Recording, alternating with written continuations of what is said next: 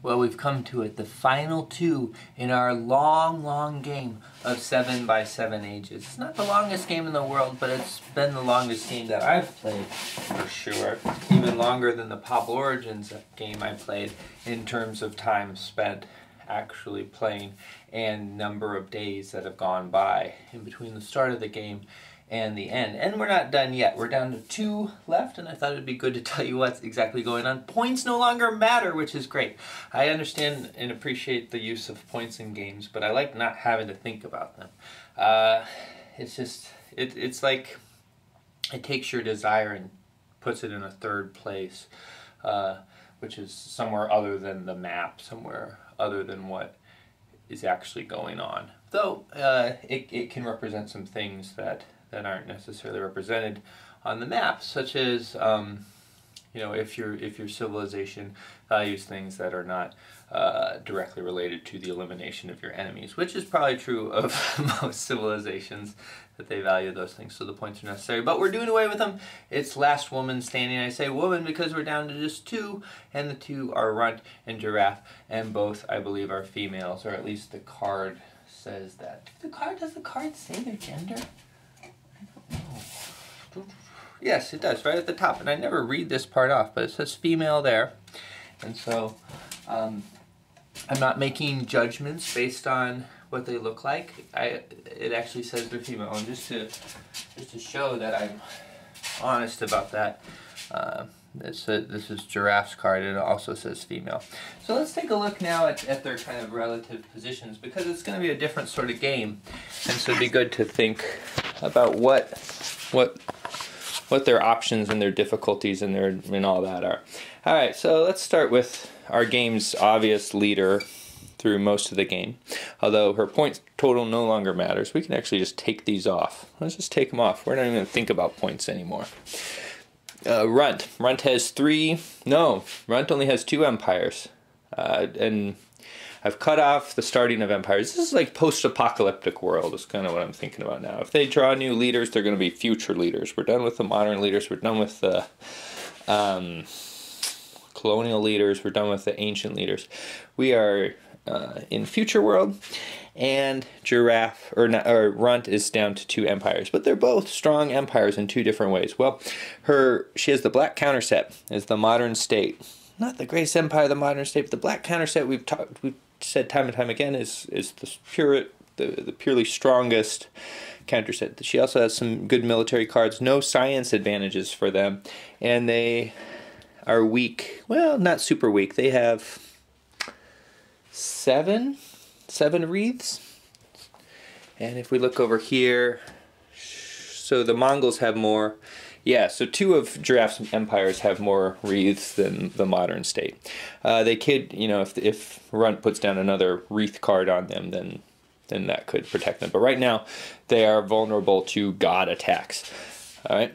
What do they have that the others don't have? Well, they're the furthest along the progress meter. They're at as far as you can go. They can build any kind of unit, including uh, nuclear weapons, which normally the reason you don't want to use nuclear weapons is because it lowers your point total, but we're no longer using points. It's it's all about destruction because we're tearing this game down. It says we're tearing the room down and moving away. All right, so they have the military. They they've already built some planes. No one else has planes right now. Um, the Egyptians and these guys who are not in the game anymore can also build planes. All right, so they she has that advantage. Her Pharaonic Egyptians also have a solid advantage. One, they're also pretty far far along. They can build um, the fighty plan, planes, but not the bomber planes.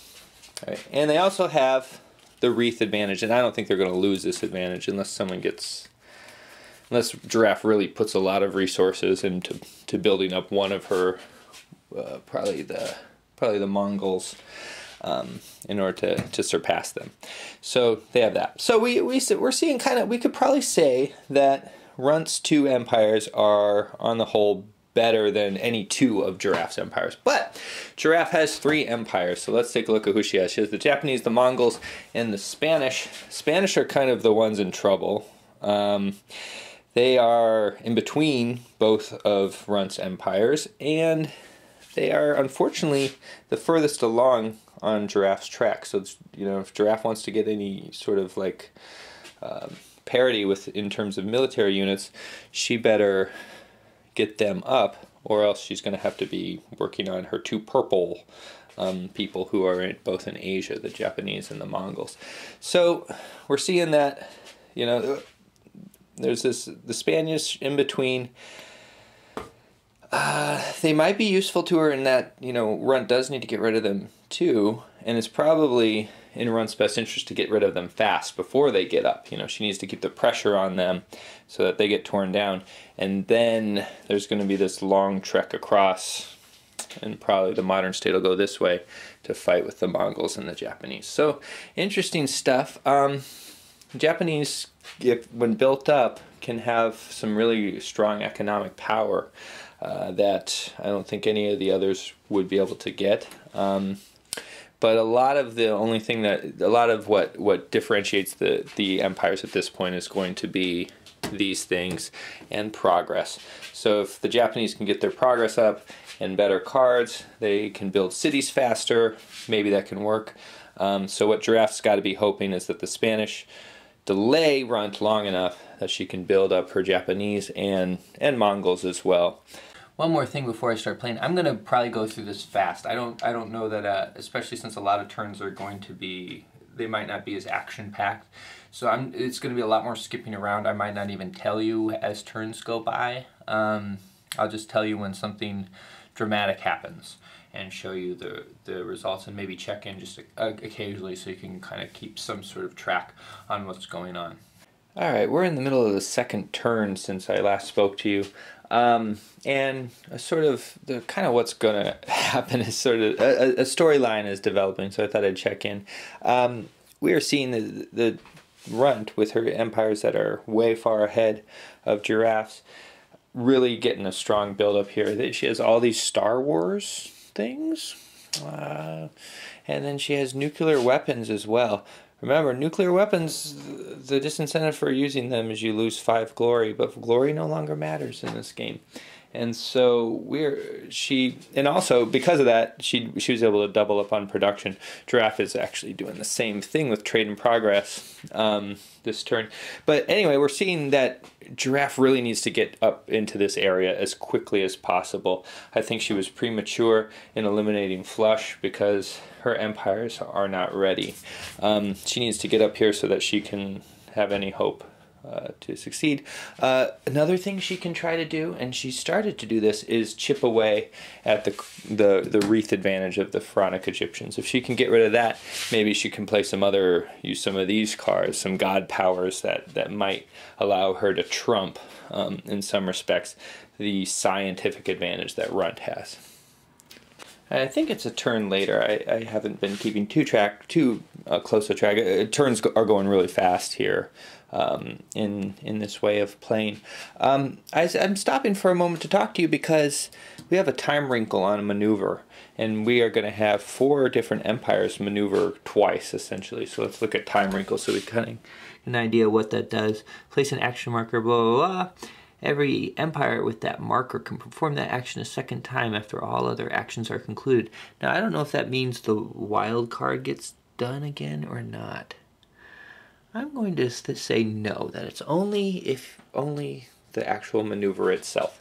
Okay, so we're the Pharaonic Egyptians are going to maneuver twice. The the modern state's going to do it once, and then also the Spanish get to maneuver twice, and the Mongols get to maneuver once. So let's take a look at where everything's going. Um, we have a bunch of nukes here, Star Wars here. It's the same as last time I talked to you. Really, it was just. Uh, I, I, think last turn was mainly production. Um, Spanish they need to try to defend themselves against these guys. They have some boats. They could start the naval campaign um, uh, against the, the encroaching modern state and the um, Pharaonic Egyptians here if they wanted to try and kind of beat Runt back and, and keep her busy. Um, the Mongols, they want to kind of fill out and take these cities so that they have a little bit more production behind them, and then also maybe shift so that they're in a better defensive position for uh, against these guys who are these planes and these nuclear weapons that are coming up. Well, you can't really defend against nuclear weapons actually. Um, yeah, I don't know how Giraffe's going to deal with that. Uh, but also, the Mongols would love to bring their boats down here to try and support in this area. Really, you know, Giraffe needs to stall um, Runt as much as possible until our people get up. Japanese are getting close. Uh, they've been trading a lot. Mongols have been trading a lot. Spain could could start trading, but they've been kind of under assault, so they haven't been. So I'll, I'll, I'll come back in after the maneuvers and let you know what's going on. After last time I showed you the mound, I saw something. I wanted to show it to you now. I, I don't know if um, you maybe saw it when I showed it to you previously, but I didn't. So I wanted to make sure I pointed it out. And it's right here, growing from where the mound used to be. It's a it's a weed. I've just made a decision with regard to nuclear weapons in this game uh, in order to to reinstate some of the, the balance that was meant by the subtraction of five points every time you use them. Uh, one thing nuclear weapons do to your opponent is, well, they do two things. One, it destroys everything in a particular space, and the other thing is anyone who owns that, who owned that space before everything was destroyed, goes back one progress. So I think it's fitting that both sides would go back one progress if that happens, or or whoever owns the space and then also the perpetrator of the nuclear attack goes back a progress. That just seems seems a little more fitting. So there's there's more of a disincentive to use them, I guess. And you can see them being used right now. The Pharaonic Egyptians have sent four nuclear weapons, uh, three of them against the Mongolians and one against the Japanese. So let's just watch things explode. Here we go. Boom. That's the sound of that things of things exploding on this map. Nuclear weapon also explodes, and so that's gonna lower the Japanese one, and it's also gonna lower the Pharaonic Egyptians one. And that's interesting because it. I, I think it balances out well because if you keep using them, you're going to go back in progress, and then you know you have to build them back up again. So that, that that's going to be problematic for the Pharaonic Egyptians in this case. And also, there's a limited counter set for the nuclear weapons, and they're shared by everyone. So it's like kind of first come, first serve. So that, that makes for a more interesting game with the nuclear weapons. I'm just going to go ahead and move the Pharaonic Egyptians the, other, the rest of the way back. One, two, three. They've detonated four. So, and I guess the Mongolians are going to go back two more. It's going to make it hard for a Giraffe to catch up, but it's going to take a while for the Pharaonic Egyptians to get back up to the point where they can build these nuclear weapons. However, I still think Runt has a strong advantage now because the, the modern state can build them. All right, here we go. There is a defense against nuclear weapons. It's these Star Wars things. The designer was really into Star Wars, which I don't believe ever actually came to pass the Star Wars project. It was a, something I remember from the Reagan era, right? Oh, and I forgot about this. Yeah, here are the Star Wars. They just attacked Japan. Yay. Okay, they can pretty much they can essentially teleport. They can just drop down anywhere. So here we go. Interesting though. This um, so anytime there's missile units, the city's the city's defense value isn't counted. But Star Wars aren't missile units, so the the city does is able to defend against them. So it it may look like it's you know 18 to 5 but it's actually 18 to 10 because the city is going to be helping the modern state played an overrun card allowing um, runt another maneuver by them and so she's so far gotten rid of the entire land presence of the japanese um, and is attacking two of their submarines this is a little bit more of a fair fight though it's 9 to 8 so it could go either way. I don't think the modern state has any advantage. And actually, the Japanese, I think they have a boat advantage, do they? Uh, nope.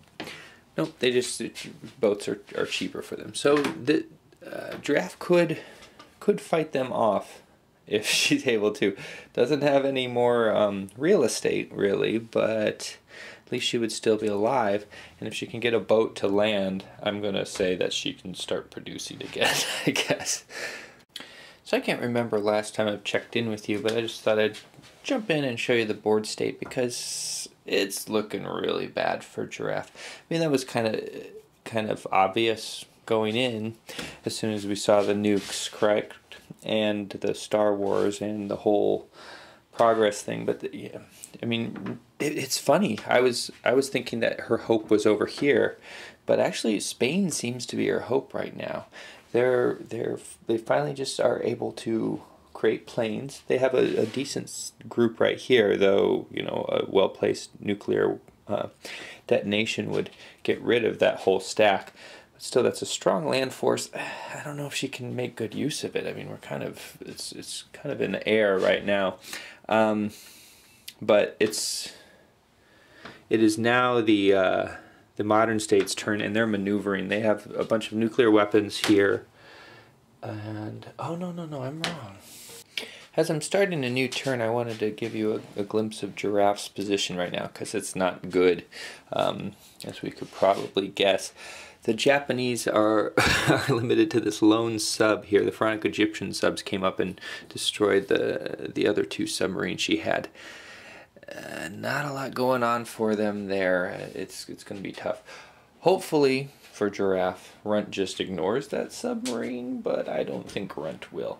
Um, the the uh, Mongols, they're trying to just kind of like, just keep spreading out, so uh, so that uh, you know, because in any one space, Runt can beat beat them, right? But each time she does, she lo- she lowers um, lowers a progress, uh, and so it's it's or or you know to to get the, uh, a, a sizable enough force to to defeat even like you know this this pair here would require a, a, strong concentration of forces so that's that's difficult. So she's just kind of trying to delay and at the same time kind of building up Spain slowly and slowly. They Spain can now make planes and so she hopes this turn that she can get some planes there and maybe uh, arrange to strike out at uh, the Pharaonic Egyptians and start chipping away at them here so that maybe Runt has to be a bit more defensive. These dice very well could and probably will represent the last stand of Japan. Japan, I don't know. I can't remember. I, am going through a lot of stuff here off camera. I can't remember what I've told you and what I haven't. But um, Japan ended up, uh, their last sub went and fled to the Phoenix Islands, where Giraffe hoped that you know they would be able to rebuild. Um, she then uh, even protected the Phoenix Islands a bit with a couple of her Mongolian subs, um, thinking that you know if the subs had tried to chase after, then at least there would be a barrier there. Maybe, although I guess they could have just gone around. she was just hoping, you know, hoping for trying to do something. Uh, her efforts have been fairly impotent, but we'll see. It's uh, two of the Star Wars canisters um, warped over there, and it's going to be an 18 to 8 battle. Let's see how it works. Here's all of Giraffe's dice. That's not very good. I can tell it's not very good because there's lots of threes and fours. That's that's that's really bad roll. And then we have 5, 10, 15, yep, 18 here.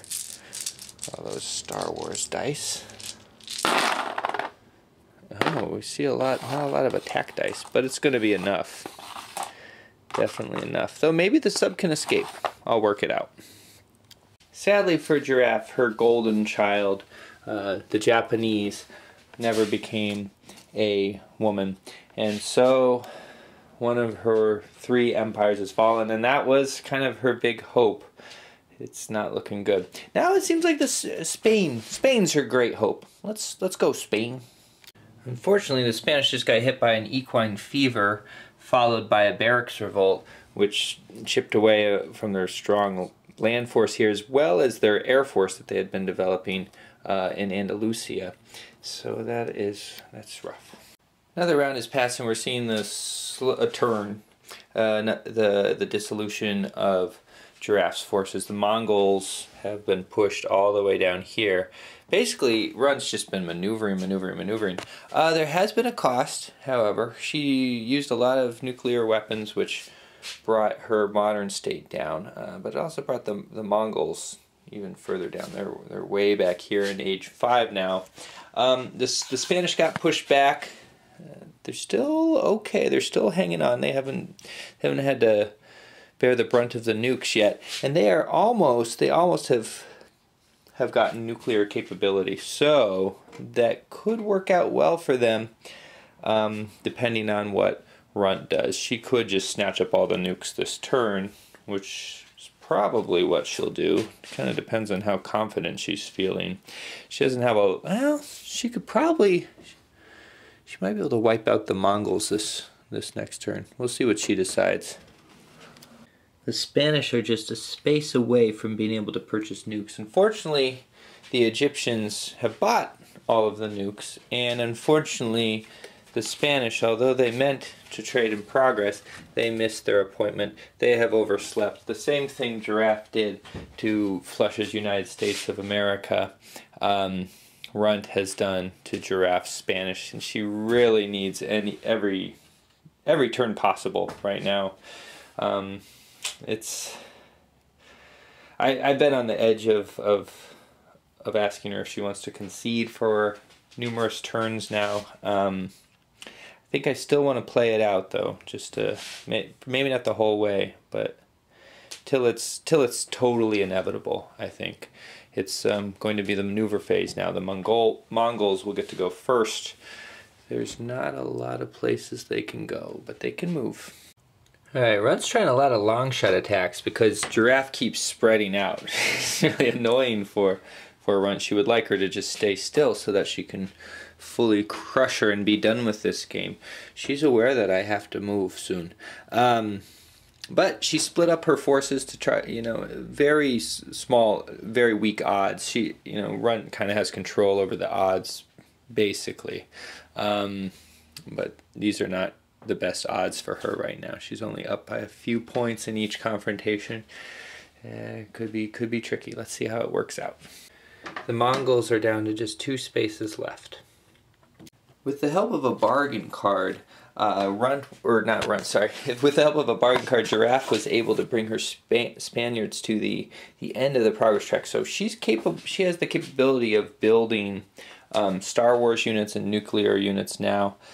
Uh, will it be in time? The it looks to be like the Mongolians are about to be wiped out, um, and there's a bunch of nukes, nuclear missiles over here in in uh, Egypt, well, in the Egyptian Empire, aimed at Spain, which are going to knock them down for each one that hits a progress level. So if they all, if if if Runt uses them all, she's going to be down here and that does not look good. But it's an accomplishment.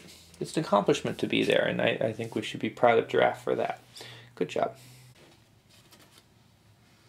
Occupation regional makeup artist. Childhood nickname Giraffe. Secret fantasy to eat my way out of a chocolate vat. Unusual fact I don't always like people.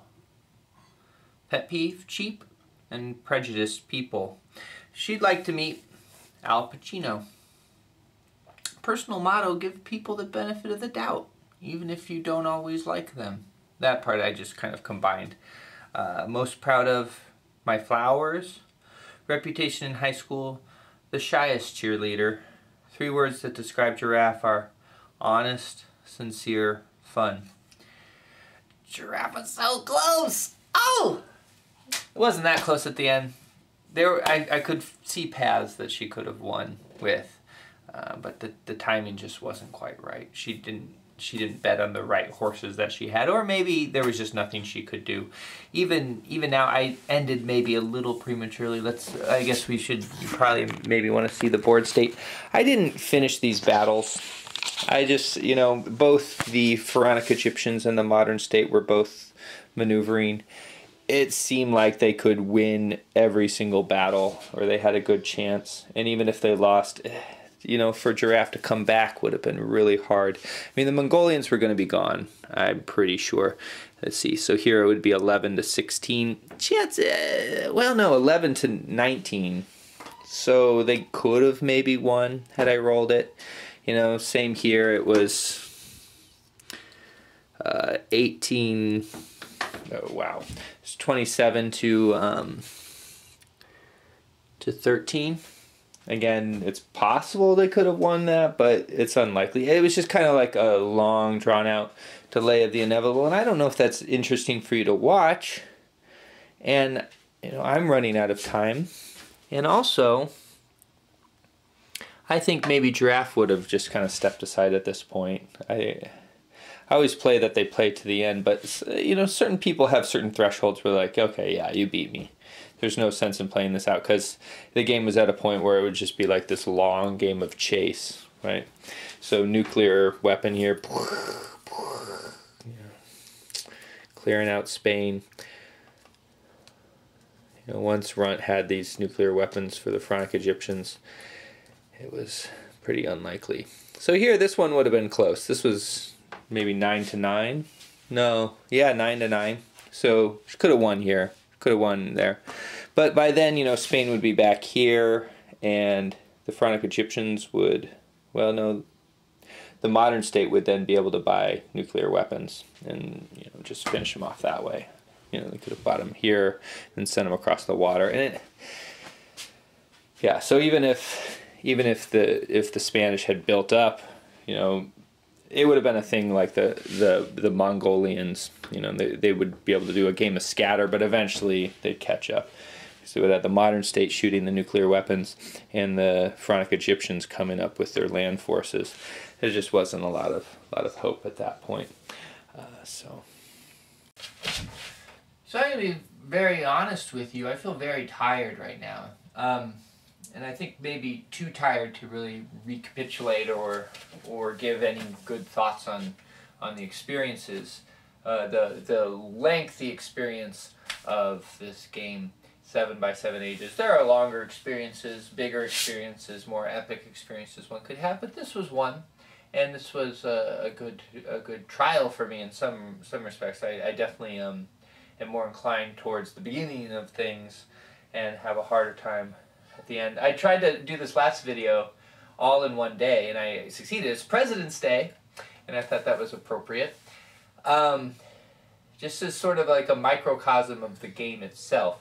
So the last turn, uh, or the last the last segment, uh, was was kind of this drawn out thing, and a lot was compacted, and a lot was drawn out, and a lot was uh, inevitable. Um, it's interesting. I always try to pick out narratives in these games. Maybe it's not interesting, but it's something to talk about. I always try to pick out narratives in these games, and um, the narrative of one person winning the whole time is probably one of the least interesting narratives you can um, come up with. That's why, for me, like super successful together seeming people are completely boring. Uh, though maybe there's something more to them, but if someone's telling me about how they're successful, I don't find that very interesting um, because it, it's usually usually seems inevitable that they would be successful. It's not like it's very rarely there's this rags to riches story. Uh, my son's attacking me. That's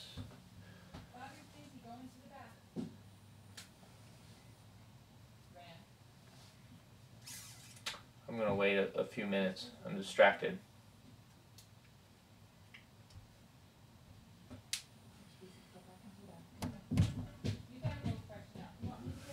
Um, so I lost my train of thought. That's okay. Um, yeah, it's uh, things like this. It's it's really hard to to fully encapsulate them or to come up with a good goodbye uh, to something that's very long. Like friendships are like this. If you're friends with someone and then they leave, or you're going to be separate. Um, you can say you're going to be in touch or, or that something, something will kind of continue. And maybe that's true, but it, it'll, uh, it'll probably become something different. And that's okay. Um, but it's hard to put a cap on that. It's hard to say goodbye. So maybe sometimes it's just better to be done.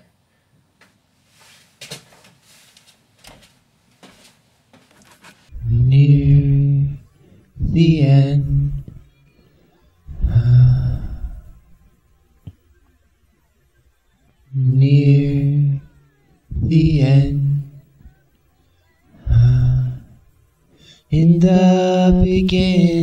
Sometime now the future's calling, calling now. The future's calling sometime now. The future's calling, calling now. The future's calling sometime now. The future's calling, calls now. The future's calling sometime now future's calling, calling now.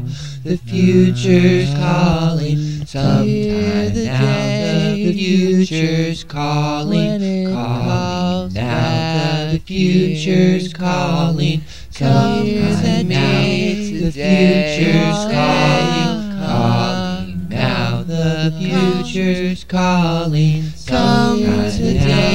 The future's calling.